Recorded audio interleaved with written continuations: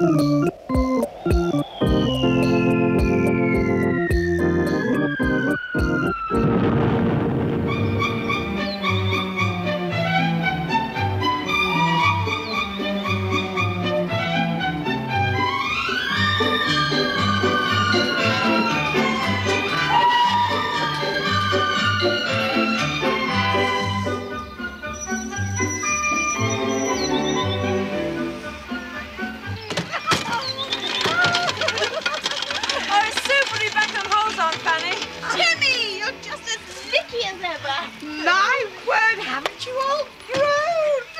Stick. Well, it's great to see the girls again, isn't it, Dick? Oh, rather.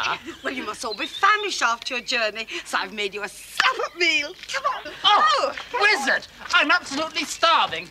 Hmm, me too. I vote we all go for a cold swim first. I feel pretty hot and sticky off that long train journey. Oh, yes, let's. Come on, everybody pile in. Come on, Timmy. I say, Jewel, that man looks foreign. Yes, I expect his name's Gollywog. Yes, or Tarzan.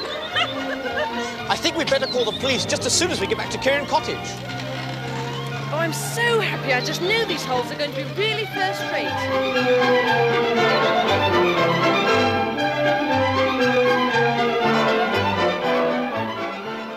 Mm. Rhubarb tart, my favourite, with lashings of cream. You've had four helpings already, Dick. Thanks, Anne.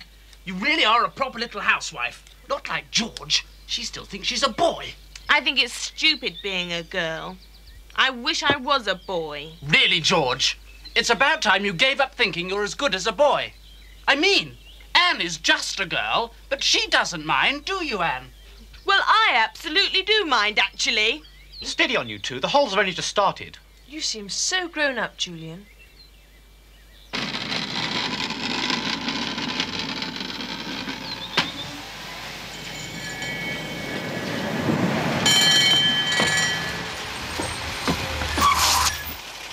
Him, Sergeant.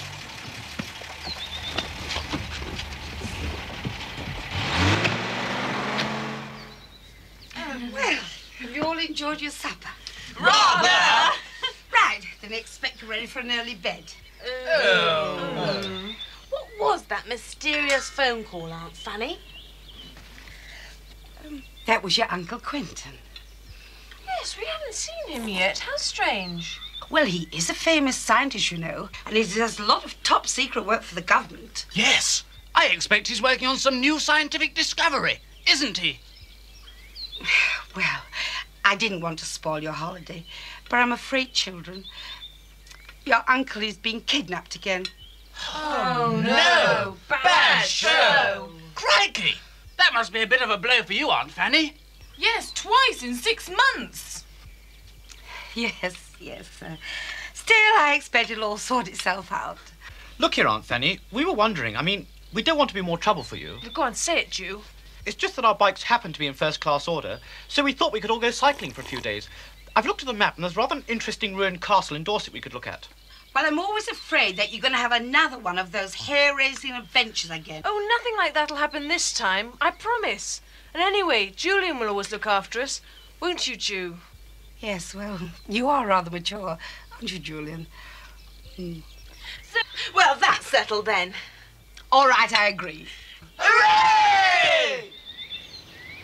It's a shame about Uncle Quentin. I agree with you heartily, Dick. Still, now we can go absolutely mad if we want to. Yes, we can do anything. It's really first rate.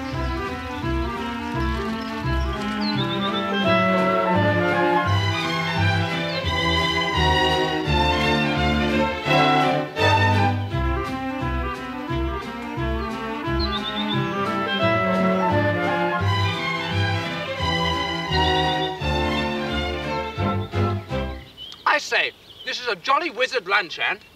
You really are going to make someone a great little wife one day. Mmm, my favourite. Ham and turkey sandwiches, heaps of tomatoes, fresh lettuce, and lashings of ginger beer. This is just the kind of holiday I like. Picnicky meals, not too much adventure. Ha! Well, don't speak too soon, old thing.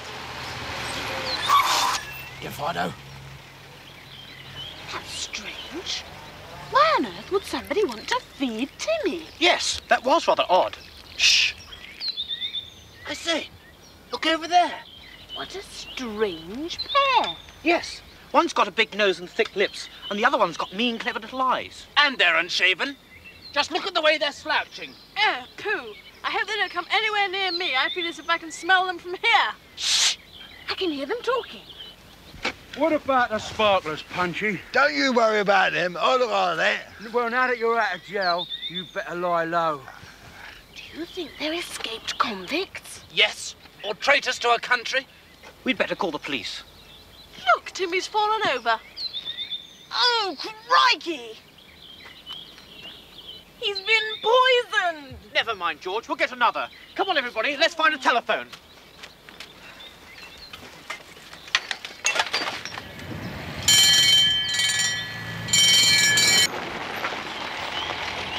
Well done. Thanks to you, we've caught these two red-handed. We're very glad to be of help, sir. I must say, you seem very grown up. I shouldn't be surprised if you joined the police force someday. Thank you, sir. You little bastard! I've just spent 15 years of my life behind bars! I'm gonna kill you when I get out! Phew! Well, now, let's all stop in the next village and celebrate with some ice cream. Rather. I feel exactly like an ice cream. Ah, according to the map, there's a shop there that does some jolly decent ones. Hmm. This is grand. Yes, I think we ought to pay you double price for these gorgeous ice creams. No, no, young gent.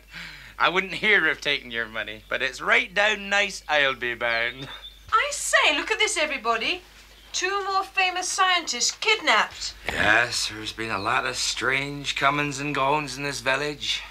Secrets and signs and threats. Oh.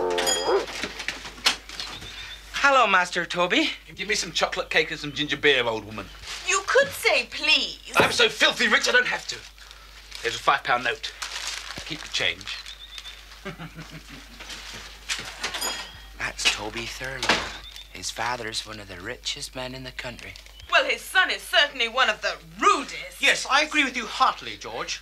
Well, we must be going. Thank you. Yes, you really are a brick. It's a pleasure.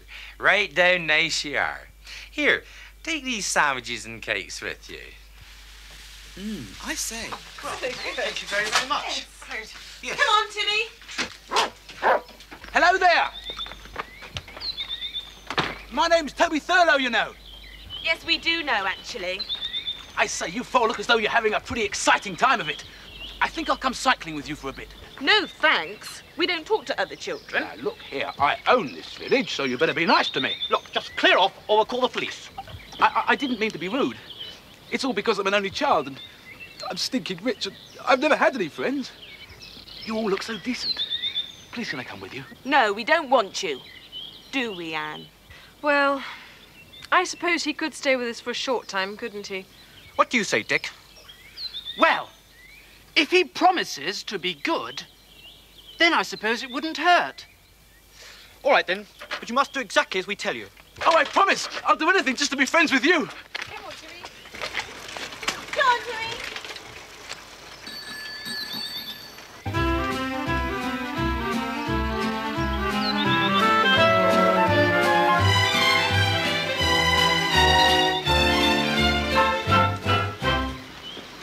A grand spot for a picnic. Rather, I'm starving. Me too.